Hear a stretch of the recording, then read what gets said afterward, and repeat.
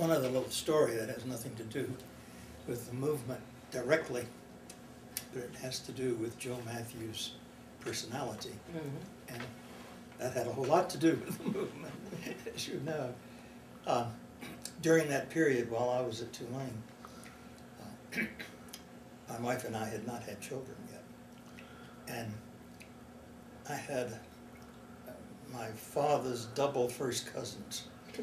Um, In the South, we have very strange sets of relationships.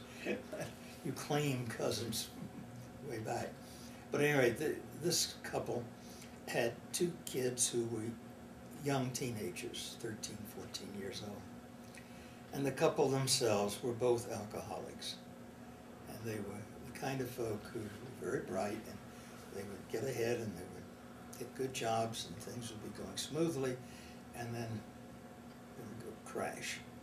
And they'd be out of work and be broke and yeah, just bad service.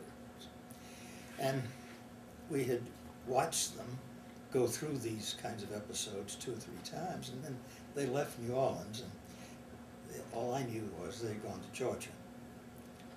Out of the clear blue sky, we get a letter from social services in Georgia saying that they've had to remove the teenage children from the home, and they have the parents in some kind of programs, but they cannot, given the history, let these two teenagers go back to that home.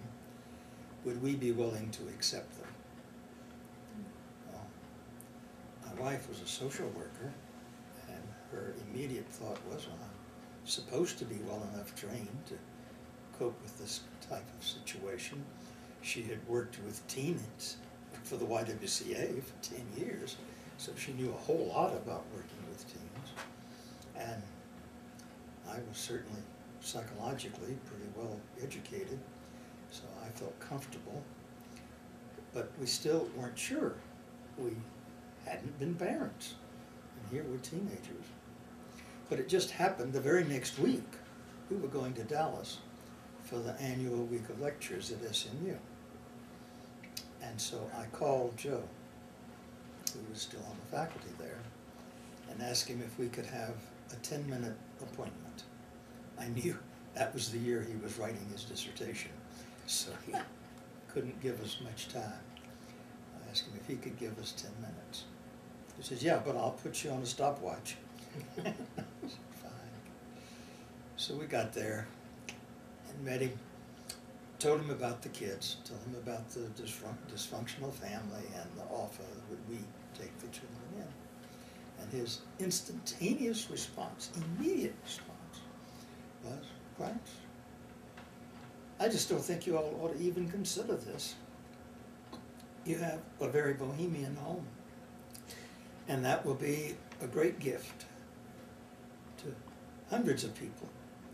And if the God should decide to give you children someday, your children will grow up in a bohemian home, so they'll learn how to handle bohemia. But these kids have lived in hell. And they don't need a bohemian home. They need a conventional home. They need some stability. They need some structure.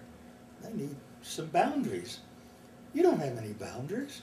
You just open your doors to the universe. I think it'd be a terrible thing for you to do. Now I gotta write my dissertation. That was the end of the conference. And we both felt very, very comfortable going home and calling the folks in Georgia and telling them that we shouldn't do that.